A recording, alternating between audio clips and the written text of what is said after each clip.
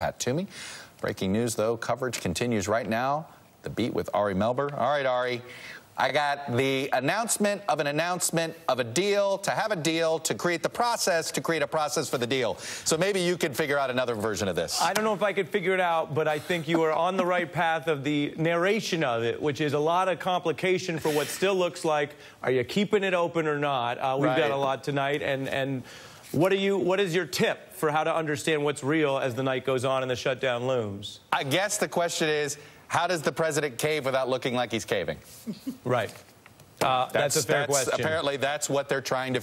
No, that's the deal they're trying to design. Can Yeah. they create a deal to make him feel like he didn't look like he caved to Ann Coulter and Rush Limbaugh? Yeah. Uh, Chuck Todd will be watching. Thank you, as always. Thank you. right now, as I mentioned, the continuing coverage on the beat, we have the Senate floor live. The talks are underway. The idea is to avert a government shutdown that, whatever you think of this president, this is now real as we are within six hours of a shutdown tonight that affects Americans and the world. The government will, if nothing else happens, this is one way to say it, shut down at midnight. Now, earlier today, President Trump said this would now be, guess what, quote, he argues a Democratic shutdown that contradicts not only a lot of what independent experts says, it also happens to contradict the president. I will be the one to shut it down. I'm not going to blame you for it. The last time you shut it down, it didn't work. I will take the mantle of shutting down. It's totally up to the Democrats as to whether or not we have a shutdown. It's up to the Democrats. So it's really the Democrat shutdown. That's the contrast. The earlier comments only just last week. It's haunting not only President Trump, it's haunting the entire Republican Party, which could own this so called Trump shutdown. His words. Now, here's the latest. Moments ago, we had leaders of both parties trying to cut this deal and speaking on the Senate floor. Democrats have offered three proposals to keep the government open, including a proposal offered by Leader McConnell that passed the Senate unanimously only a few days ago.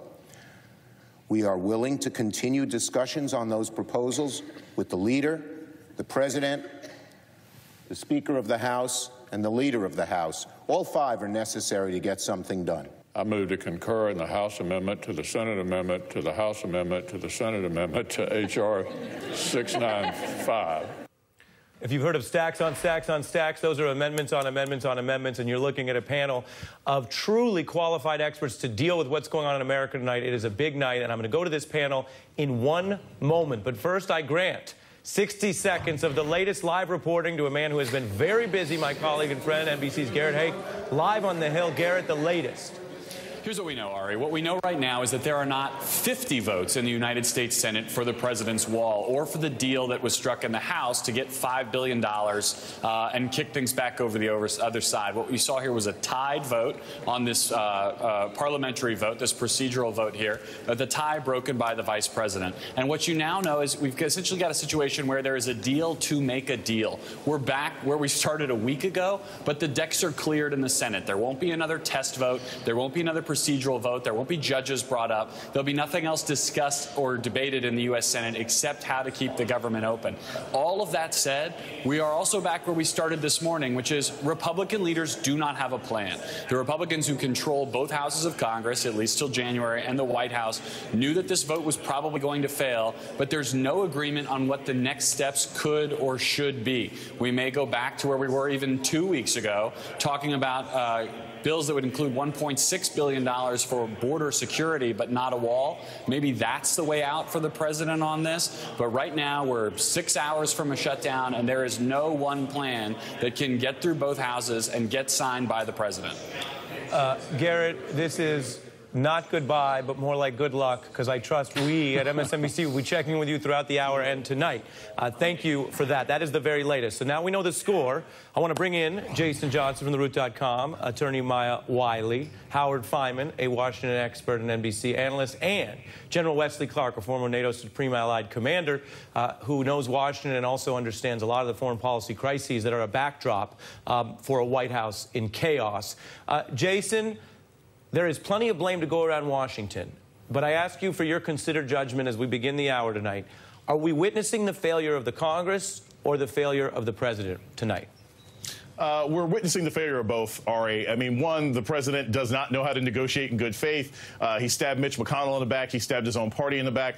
But this is an example of the sort of consistent failed leadership of Mitch McConnell and, and Paul Ryan. This is a perfect way for Paul Ryan to end his career in Congress.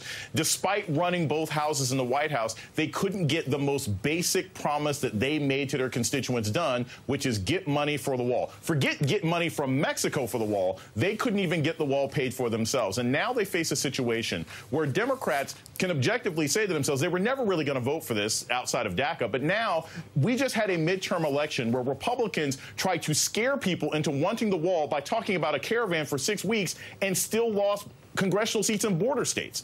Democrats have hmm. no reason to negotiate, and the Republicans don't seem to have any plan on how to deal with not having power in six weeks. And then put that context, Howard, against what this is doing to the American economy. The stock market's complex. It's never moved by one thing. But look at this. This would be the top story otherwise. This is the worst week, this Trump chaos week, since the financial crisis 10 years ago. And you have the federal government heading towards more chaos and instability tonight, which cannot help. Well, I think probably if you want to look at it through the lens of the markets and investors, they're of two minds. Uh, for a long time, they ignored uh, shall we say, the idiosyncrasies of Donald Trump because they like tax cuts and they like deregulation, et cetera, et cetera. But now they're coming up against the fact that Donald Trump may be uniquely unsuited uh, as a character, as a negotiator, to be president of the United States. I mean, he brings his his experience, such as it was, in the art of the deal. And if you read the art of the deal, uh, what you're supposed to do if you're Donald Trump is get up and walk away uh, threaten to blow everything up every minute. So what that's done is taken an already messed up situation in Washington. I mean, we've, we've had shutdowns now for years, and and and and and and turbocharged it. Uh, with a guy who doesn't know how to negotiate politically. He doesn't know how to negotiate with his own party. He doesn't know how to negotiate with the other party. He's all for getting up and leaving the table. The problem is when you're president of the United States, you can't get up and leave the table. Mm. You've got to help run the government, and that's what he's not doing now. Maya, I turn to you for a wider ambit here. We've covered a lot of aspects of this particular historical moment. This is a week where we saw Mike Flynn in court get chewed out and asked if he was treasonous. Roger Stone's testimony in the, in the Congress handed over to Mueller, uh, which obviously has the looks of being a target, if not about to be indicted. Tremendous pressure on Donald Trump as he shakes up the DOJ and tries to have a new attorney general who we learned just last night was privately advising him not how to run the DOJ, but how to run Mueller out of town legally. Uh, and that comes with all of this pressure. And so, how much of this do you think is also Donald Trump dealing with a government that, for all of his attempts at control and what some critics have called authoritarian styles, potentially illegal control, is more out of his control than ever. And the Democrats haven't even taken charge, which they will next month. Well, it is interesting timing uh, because there's so much chaos on so many fronts, as you've pointed out, Ari. And remember that Donald Trump seemed to be favorable to the deal that Mitch McConnell was crafting that did not have money for the border wall. And then when all the things that happened that you've described happened, he also then suddenly said, $5 billion for my wall or bust, and I'm willing to shut down the government and I'll blame you, Democrats. So it's a nice distraction. I think that what we really have to focus on here, and I, I, I just want people to understand 75% of the government will still be functioning. If there's a shutdown, it's about 25%. And the Mueller probe is actually permanently funded. So this does not impact the Mueller probe itself. In fact, even though DOJ will be impacted if there's a shutdown, it will not impact many of the functions of the Department of Justice. So there is a lot that will still be happening, which also makes it harder for folks to come to the table and debate, but I think it is a very handy distraction. Right. And so, and that goes to something we often cover here, which is not being pulled aside by some of these issues. I mentioned uh, General Wesley Clark is here, and I want to ask him for his views next, but let's take a moment now that we've done the breaking news from the Hill and look at the larger picture on what has been a truly historic and, in many ways, difficult week for the country. This could feel to many people like the cliffhanger finale of season two of this Trump presidency. But the stakes are, of course, higher than any narrative. So let's go through it. Lawmakers trying to avoid this Trump inflicted shutdown. America's military reeling after the resignation of the defense secretary who laid out in public his concerns about China and Russia. Thousands of U.S. troops now ordered by tweet effectively to leave the battlefield, which concerns many military leaders and our allies. Adversaries like Vladimir Putin look gleeful at what is obviously a military power vacuum in places where he's projected force like Syria and back home. New reports Trump already turning on his brand new chief of staff.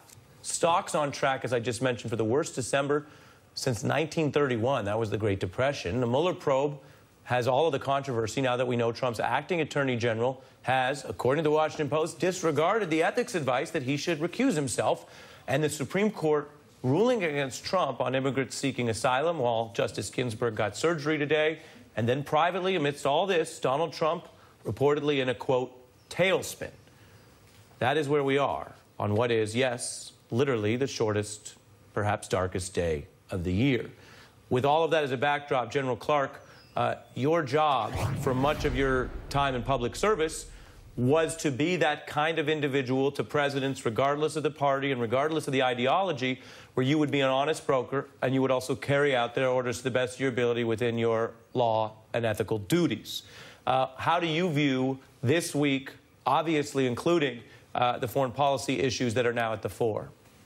Well, I think we should all be sorry to see Jim Mattis leave as the Secretary of Defense. He's an honorable man. He did the right thing. There's so much difference between his views and the president's views, and the president doesn't listen to his views, and apparently, and the president has undercut him, so he can't deal with allies. So, uh, Secretary Mattis did the right thing. He left, and he's exactly right. The president is he deserves to have someone who shares his views. The problem is, what are his views and why? There's no strategic logic to this business of pulling troops out, to undercutting our allies and cozying up to our adversaries. Well, let's no build on that. Let me give you, Let me give you a follow-up question because you just put your finger on it, General. What are his views, and what is the foundation, the factual military strategic predicate for those views? Because there are a lot of people who, by the way, are in the, the so-called resistance. They don't like Trump, who also are fairly receptive to responsible ways to drawing down troops from certain uh, fields of battle. You've talked about that. It seems where you and and Mattis may be concerned about the president is not whether he leans in that direction or not, but the fact that he seems to be leaning back and forth and making policy by Twitter without the underlying facts. Well, not only facts, but it, there's no logic to it. So, for 70 years, America's security has been maintained by having strong alliances. We know that that's a, what Mattis might call a force multiplier. It's what lets our economic and diplomatic and legal and military efforts have impact around the world. It helped us win the Cold War, kept us peace, mostly safe afterwards. It's what makes America a great, powerful country. It's not the 330 million Americans. It's not even the men and women in uniform. It's American values and our relationships. Why is the president so against this? I, I got it. In a bar in Queens, you can always have a couple of drinks and find somebody who says, yeah, they're taking advantage of us. And you say, yeah, we ought to pull out, screw them. But that's not what a president should do. What's the strategic logic of this? And there isn't any. What do you and have against why, Queens, General Clark? He's right. Uh, Howard, uh, go ahead, General. I want to give you a response in the good name of the people of Queens. I want to give you a response. Hey, I, I, I love Queens. My wife is from Brooklyn, and so uh, and, and and President Trump is from Queens. I was just trying to put it in terms he might get. Yeah. Maybe that's what helped him. You know, learn you. his foreign policy. I feel you. But, Howard, you know, this is the way people talk, and people get their feelings out. But it's not the way great nations make decisions. And Howard, and I want to bring you in difference. on that point. point, and and All right. this is where the serious meets with the absurd, and I, No, I want no, you to speak serious. to speak to both. The All right. serious is what everything the general just said about the logical process. The absurd Mm-hmm. is Howard. We all covered as reporters the fact that Mick Mulvaney, we might have remembered it from the time, and we did our homework and checked it. I'm going to put it up on the screen that he'd called Trump a terrible human being. Now Trump turns on him with that information that was readily available and says, "quote." Did you know he called me a terrible human being during the campaign? Howard, his approach to his own chief of staff appears to echo his approach Well- to pulling troops out, which is Well, do it first and, and watch TV after. Well, first of all, it, it shows that he really doesn't care who his chief of staff is because he didn't bother to check the guy out before he said, "Hey, you go ahead and be, you be acting chief of staff." But I think Wes Clark, uh, or, or you be acting wild. Either way, go ahead. yeah, all right. Wes Clark has put his finger on something here because you described me very generously as a Washington expert. But in order to understand Donald Trump and his approach to the world, mm. I rely on my time as a student in New York and living in New York. Mm. And what I will say is I think Donald Trump, Trump views the world as, a, as a, an array of mob families uh, where he's the kingpin of one mob and he's got to get to know for self-defense, if not anything other, uh, for no other reason, or to, to approach and get inside the bubble of the other uh, mob leaders around the world. And those would be Putin and Erdogan and Xi and all the other dictators that he seems to feel simpatico with, because it's one mob boss talking to another. Forget the government, forget the United Nations, forget the law, forget everything else. It's an extremely crude and jungle-like view of the world as seen through the eyes of mob families. That's how Donald Trump operates, and that is his worldview. If there is a Trump doctrine, it comes from Queens and Brooklyn and from New York and from the mob families that controlled that city. Yeah, and I, I think it's a, an important uh, point you contribute. I would only echo it by saying it comes from the movie depiction of how those things yes. work and not always well, the reality. Well, he dealt. I think he dealt with. Look, if you're if you're going to be in real estate in New York, if you're going to be business in New York, if the regular banks are going to shut you yep. out and not have anything right. to do with you, you got to get your money from somewhere. Yeah. And that can be Russia, that can be somewhere in Istanbul, that can be from somewhere in Queens. Right. I feel you on that, Jason. Then you have the other side of this story, which is Trump could do what he wants, but right. we are witnessing the beginning of a Pelosi Washington, and it is running different than the way it was under Paul Ryan. Here's Nancy Pelosi standing up to Donald Trump, setting the predicate for what we see tonight, which is obviously a bigger problem politically as well as for the country, but a problem for Trump and the Republicans. Take a look. The president is doing everything that he can to shut the government down. You have to ask the question, why? Does he not believe in governance? Does he not care about the American people? Doesn't he know uh, that the economy is uncertain? Hasn't he followed the stock market that he likes to brag about? Jason? I mean, it, look, it, it, that was a surgical takedown, right? I mean, Nancy Pelosi has been waiting to do this from a position of power for years. But here's the other thing that's really problematic about Trump, the supposed brilliant negotiator, even though no one in their right mind really believed that. I, I mean, he's, he's like a bad supervillain who tells Bond what the plan is beforehand. When you do a press conference last week with Chuck and Nancy and you say, I'm going to tear everything down, I want a government shutdown, everybody knows what your plan is. Everybody yeah. knows where the secret files are. So his, his negotiation negotiating is so poor, whether it's public and whether it's international. I'll also say this, you know, as much as he may consider himself to be a mobster or a gangster, he's basically a halfway crook because he doesn't know what he's doing. He told us we were going to go into Syria and all of our soldiers would bring our oil back. I don't see where that oil is. So uh, even if you believe that it was a good idea to go in initially because it was going to lower gas prices, he's failed in that as well. Uh, I got to fit in a break because we have so much breaking news going on on the Hill. I just want to give some serious credit here to Jason Johnson with the Mobb Deep, Howard Fineman with the Godfather, General Clark with Queens, which could be coming to America, and Maya Wiley just for being Maya Wiley. We're going to fit in a break. Thanks to each of you on a busy Friday. Democrats up ahead. They're